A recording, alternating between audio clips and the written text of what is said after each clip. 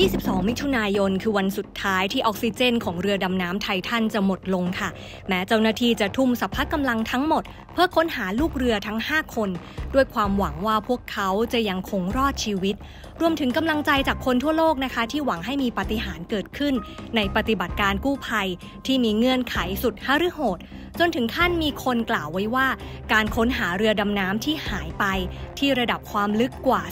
3,800 เมตร อาจไม่ต่างอะไรกับการค้นหานักบินที่หลุดไปในห้วงอวกาศ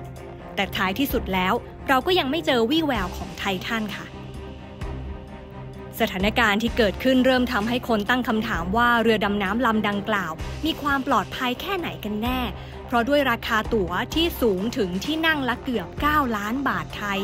กับทริปทัวร์ซากเรือไททานิกสั้น ๆ 8 วัน คนก็ย่อมคาดหวังนะคะว่าความปลอดภัยที่ได้รับ จะต้องรัดกุมพอที่จะดูแลลูกเรือระดับมหาเศรษฐีกันได้ แต่เหตุใดมันกลับหายไปอย่างไร้ร่องรอย เมื่อคำถามนี้ดังขึ้นเรื่อยๆ สื่อต่างๆ จึงพากันขุดคุย หาประวัติของเรือไททัน รวมถึงเจ้าของเรืออย่างบริษัทโอเชียนเกตผ่านข้อมูลต่างๆ ที่มีการบันทึกไว้ในอดีตค่ะ ไม่ว่าจะเป็นบทสัมภาษณ์ของผู้ก่อตั้งบริษัท อดีตพนักงาน แล้วก็ผู้ที่มีประวัติเคยเกี่ยวข้องกับโอเชียนเกตเพื่อตามหาความจริงให้โลกได้รับรู้ ซึ่งในประเด็นนี้นะคะสำนักข่าว CNN ได้รวบรวมข้อมูลเกี่ยวกับข้อกังวลด้านความปลอดภัยต่างๆ ของเรือไททันไว้อย่างน่าสนใจ และมีความครอบคลุมค่ะ The Standard จึงขอมัดรวมประเด็นทั้งหมด มาสรุปให้ทุกคนเข้าใจกันในคลิปนี้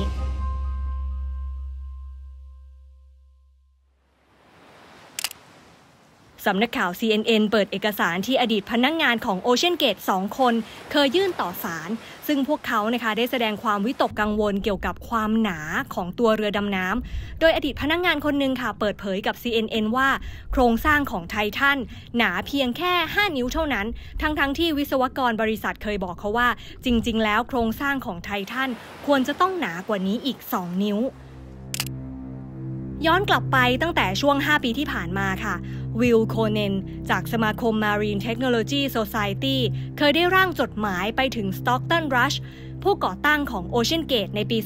2018 โดยแสดงความกังวลต่อกรณีที่ Ocean Gate นะคะปฏิเสธ ที่จะนำเรือไททันเข้ารับการตรวจสอบความปลอดภัยที่เข้มงวด โดยสมัครใจ หรือการประเมินความเสี่ยงทางทะเล ที่เรียกว่า DNVGL โคเนนค่ะกล่าวว่ามีเรือดำน้ำ10ลำในโลก ที่สามารถดำน้ำได้ลึกกว่า 12,000 ฟุต เรือทั้งหมดเนี่ยผ่านการรับรองดังกล่าว ยกเว้นแค่เรือดำน้ำของโอเชียนเกตค่ะ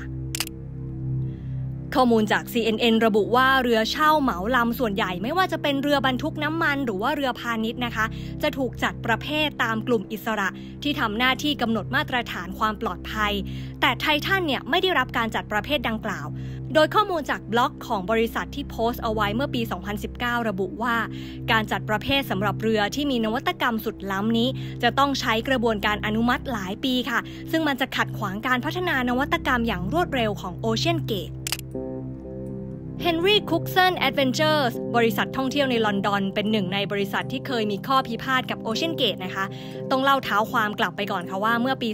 2016 ทั้งสองบริษัทเนี่ยเคยทำข้อตกลงร่วมกันไว้ เพื่อเตรียมพาผู้โดยสารสูงสุด 9 คน ไปชมซากเรือไททานิกในปี 2018แต่เมื่อข้อตกลงดังกล่าวไม่เป็นไปดังที่วางแผนไว้ จึงมีการฟ้องร้องเกิดขึ้นตามมา CNN ระบุนะคะว่าคดีแพ่งที่มีการยื่นฟ้องเมื่อปี 2021 ได้มีการตั้งคำถามว่าที่ทริปดำน้ำล่าช้าออกไปกว่ากำหนดเนี่ยเป็นเพราะเรือดำน้ำไม่สามารถผ่านการรับรองด้านความปลอดภัยได้ในขณะนั้น แต่ทาง Ocean Gate นะคะก็ให้เหตุผลว่าความล่าช้าที่เกิดขึ้นเป็นผลจากสภาพอากาศและก็ฟ้าผ่าทำให้ไม่สามารถทดสอบการดำน้ำได้ตามที่วางแผนไว้ รัชผู้ก่อตั้งของ Ocean Gate นะคะ เคยให้สัมภาษณ์ไว้กับ Geek Wire เมื่อปี 2020 ว่า ในบางครั้งที่ทริปทัวร์ชมไททานิกล่าช้าออกไป เพราะทางบริษัทจำเป็นต้องสร้างตัวเรือขึ้นใหม่ เนื่องจากเกิดปัญหาด้านไซคลิกแฟติกและไม่สามารถลงไปได้ลึกถึงจุดที่ซากเรือไททานิกจมอยู่ได้ค่ะ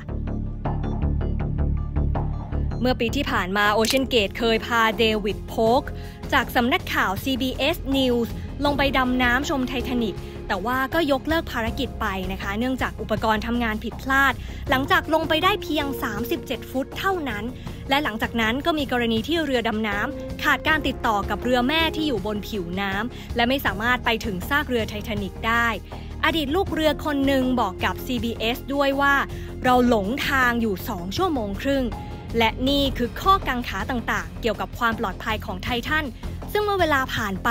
ดูเหมือนสิ่งที่ถูกปกปิด ก็จะยิ่งถูกขุดคุ้ยมากขึ้น